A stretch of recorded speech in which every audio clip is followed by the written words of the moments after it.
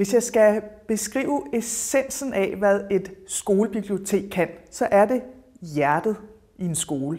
Hjertet i den forstand, at øh, når man kommer de steder, hvor, og der kalder man det ikke et skolebibliotek, men et pædagogisk læringscenter, eller alle mulige andre ting, et hjerte, hvor man kan komme igennem, man kan lade sig inspirere, fordi der er blevet sat noget fra. Det kan være nogle spændende nye bøger, tidsskrifter, nye øh, undervisningsprogrammer, som man kan lege med på computeren.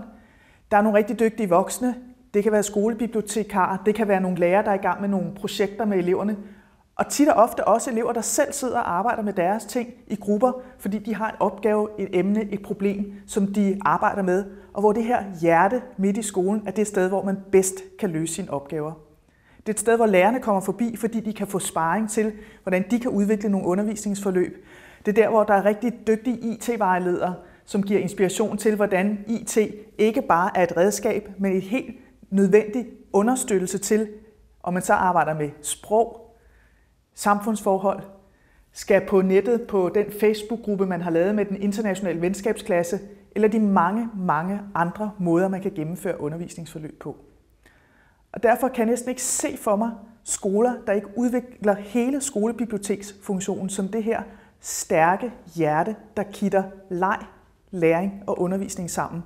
Både for alle eleverne, der er der, uanset om det er de helt små eller de ældste elever, for de lærere, pædagoger, andre fagpersoner, der er omkring børnenes dag, og som et sted, hvor man også hele tiden udvikler ny viden omkring læringsmetoder og forløb.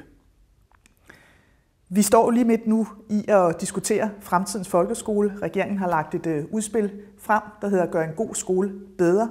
Og det er fordi, vi har en rigtig god folkeskole. Vi har også nogle opgaver, der skal løftes. Det er stadigvæk sådan, at øh, der er for mange børn, der kommer fra hjem, hvor man ikke har en uddannelsestradition, som bliver hægtet lidt for meget af. Øh, der er stadig for mange børn, som hvis de kommer fra et andet land, en anden kultur, bliver hægtet lidt for meget af. Og så kan vi også se, at vi har en skole, hvor der er lidt for mange drenge, der bliver hægtet af. Der, der kommer vi også til at diskutere, hvad er skolebiblioteket eller det pædagogiske læringscenters rolle. Og der synes vi, at det hjerte, som det er, det skal blive endnu større, endnu stærkere. Det er simpelthen samlingspunktet for at tænke og udvikle nye læringsmetoder, hvor vi bliver rigtig skarpe på, hvordan man kombinerer praktik og teori i forhold til de læringsforløb, der er. Og hvordan, og det bliver simpelthen et omdrejningspunkt, hvordan IT hele tiden understøtter den måde, man laver læring. Og når vi snakker om drengene, så er der noget, der motiverer dem. Sådan er det, når de også kan kaste sig over og bruge hvad der er, ikke bare af maskinpark, fordi efterhånden, der er jo rigtig mange elever, der har deres eget grej med. Nej, det er lige præcis, hvor det er, der er rigtig dygtige voksne, der lige giver dem den, den idé til, hvordan de selv får lyst til at udforske noget viden, noget læring på nye måder, også igennem øh, de digitale øh, læremidler, der er.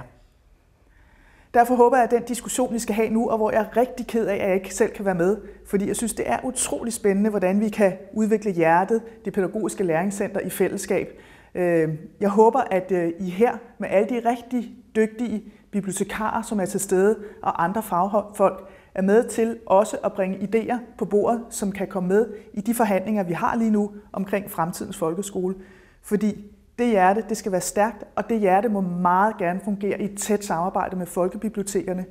Det er et hjerte, som også må dække bredere end folkeskolen, sådan at øh, dagtilbud de kan trække på det pædagogiske læringscenter. Fordi øh, virkeligheden er jo sådan, at det bliver jo øh, et sammenhængende børneliv, vi meget gerne skal kunne arbejde videre med. Det vil sige fra 0 til 18 år, fra dagtilbud, vuggestue, børnehave, ind i grundskolen, videre, når de, øh, øh børnene bliver til unge mennesker, der forhåbentlig ender med en ungdomsuddannelse der kan det pædagogiske læringscenter være den tråd, der også binder sammen, ikke bare på skolen, men også på tværs imellem aldersgrupper og andre institutioner. Held og lykke med debatten.